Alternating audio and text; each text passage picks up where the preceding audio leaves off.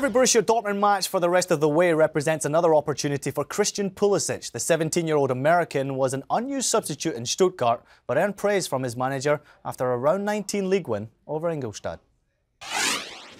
you saw everything what he's able and capable to do. He's, a great player, a great guy. He's uh, very, very. Uh, uh, a very friendly smile and always a smile on his face and, and very shy but um, extraordinary skills on the field excellent one-on-one good speed and he he dares to show up and that's the most important thing and, and that's why I, I put him on the field because I, I trusted him that he's able to help us in this in, in this situation it was nil-nil and he did and I'm very happy that he was uh, was there for us today.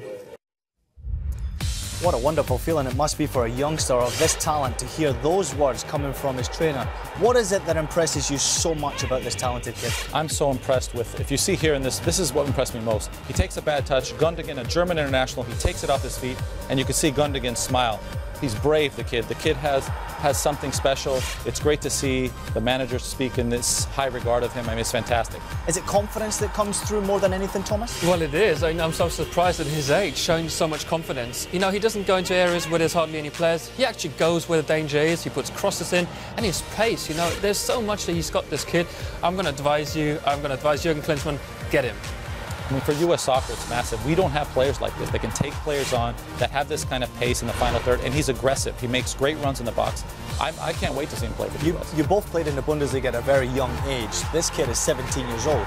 It seemed to not matter what nationality he is. It's almost as if they're focusing on his talent. Well, of course not. You know, we're at a stage where that doesn't matter. He can play, and Thomas Tuchel, the, the way he praised him, you think he's playing for the second best team in Germany. He does it ever so well. I'm looking forward to see this kid in the future. Let's get to some serious points.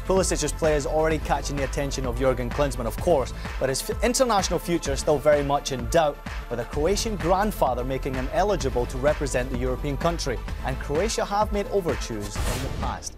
This is an even more interesting topic, to, a, a subject that we should actually get into. Pulisic having the opportunity to play for a European nation, playing his soccer in a European country, which way do you think he's leaning towards? I mean, Giovanni? it's interesting. I, I had a sim similar situation. My parents are Macedonian. I was born and raised in California, though. And for me, it was all about playing for the United States. I think he was born in the States. He grew up here. He's there in Germany now. I think he'll play for the States. He went through the under 17s. Hopefully he does because we need him. Thomas? I don't think it's only his decision. You know, he's a young kid. He's got to speak to his parents. And I've seen this before with Turkish players, for example. Sometimes very proud people and the parents, when they say, you play for our country where we were born as parents, you're going to go. So I think his parents have an influence. By his age, he might need a permission slip from his parents just to get credit to go play for his national team.